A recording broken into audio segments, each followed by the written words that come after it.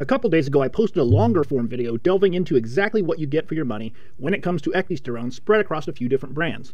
In this video, I focused on how much actual bioavailable ecdysterone you got for your $20 US.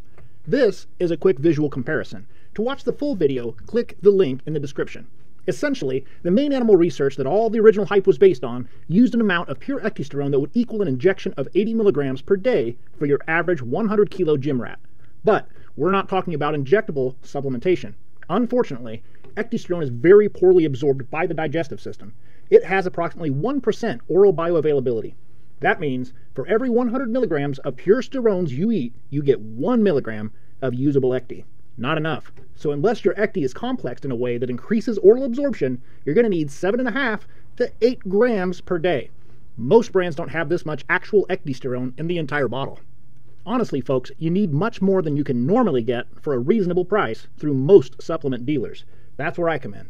I order ecdysterone concentrate by the kilo, double complex in an HPBCD, that's hydroxypropyl beta cyclodextrin, and black pepper extract, and refine it to be certain of actual percentage of ecdysterone. Since I do it all myself, I have no real overhead and can sell it for a halfway affordable price. It's still about 4 bucks per day at full dose. But that pales in comparison to the $106 per day you'd have to spend to get the same effective dose of Ecdy from Gorilla Mind. No offense, Derek. I love you, man, but I just have a much, much better deal to offer.